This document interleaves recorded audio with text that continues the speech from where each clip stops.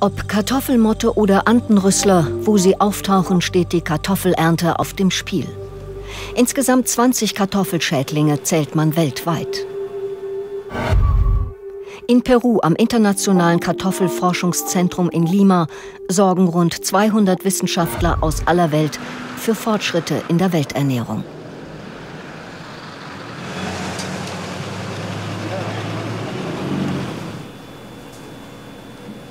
Der Biologe Jürgen Kroschel hat Schädlingen den Kampf angesagt.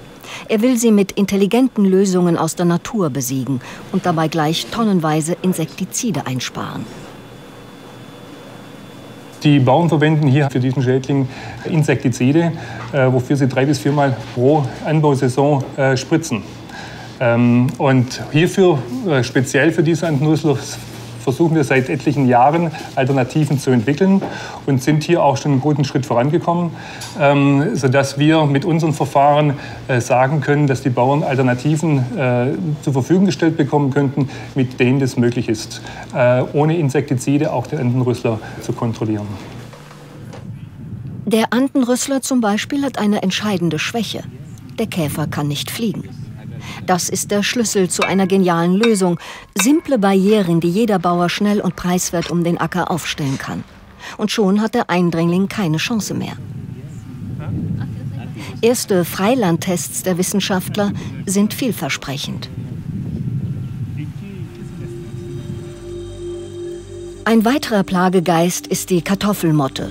Von den Anden ist sie längst auf dem Weg nach Europa. Schon jetzt treibt die wärmeliebende Motte in Italien ihr Unwesen. Ist die Kartoffel erst einmal befallen, drohen Ernteausfälle von bis zu 70 Prozent.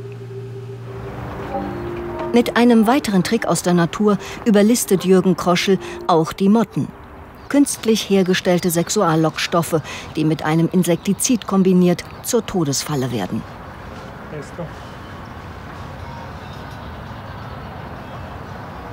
Nebenan die herkömmlichen Pestizidfallen.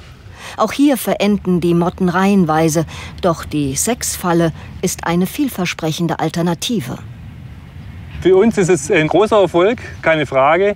Die Entwicklung per se dieser Kombination eines Insektizid und eines Lockstoffes, eines Sexuallockstoffes, kommt aus Deutschland, die wir jetzt versucht haben hier anzuwenden. Und es hat erfolgreich geklappt und wir sind natürlich happy darüber, dass wir das jetzt nun hier äh, in unser Sortiment der Möglichkeiten einer alternativen Kontrolle äh, nun mit aufnehmen können und auch in den Tropen weiter verbreiten können.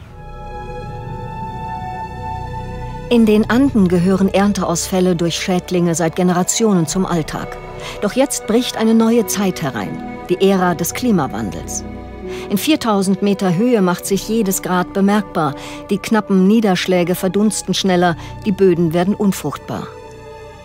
Was könnte Bauern in solchen Extremregionen helfen?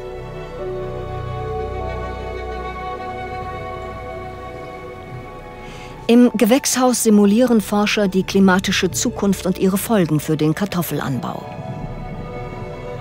Steigt die Temperatur in subtropischen Gebieten nur um ein, zwei Grad, dann wäre alle Mühe der Bauern dort umsonst. Genau das gilt es zu verhindern. In der Klimakammer studieren die Wissenschaftler die Leidensfähigkeit der Kartoffel.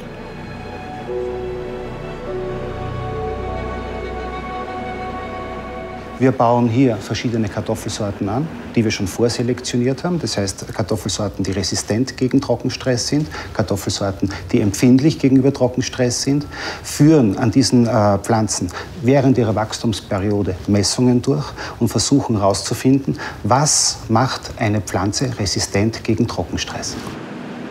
Ist der Boden sehr trocken, bilden Kartoffelpflanzen kleinere oder gar keine Knollen denn die bestehen zum größten Teil aus Wasser.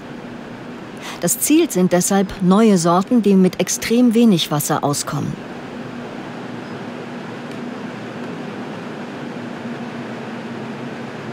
In Zeiten, wo die Kartoffel immer wichtiger wird, wo die Nachfrage für Kartoffel weltweit steigt, tendieren wir dazu, die Kartoffel auch dort zu verbreiten, wo sie nicht ideal angepasst ist.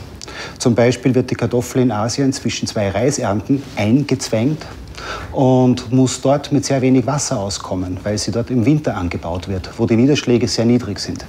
Also versuchen wir Kartoffeln, äh, Kartoffelsorten äh, zu züchten, die möglichst wenig Wasser brauchen und trotzdem einen guten Ertrag bringen. Die Forscher nutzen ungewöhnliche Methoden, um den Erfolg oder Misserfolg ihrer Testpflanzen zu beurteilen. Sie setzen unter anderem Modellflugzeuge ein, um die Felder aus der Luft zu fotografieren. Anhand der Fotos können die Wissenschaftler beurteilen, welche ihrer Testpflanzen unter Wasserstressbedingungen den stärksten Wuchs haben und sich zur Weiterzucht lohnen. So erhoffen sie sich Sorten zu finden, die sich für die klimatischen Bedingungen der jeweiligen Kontinente eignen. Denn das Anpassungspotenzial der Kartoffel ist enorm und deshalb kann die Kartoffel eine noch größere Bedeutung für die Welternährung erlangen.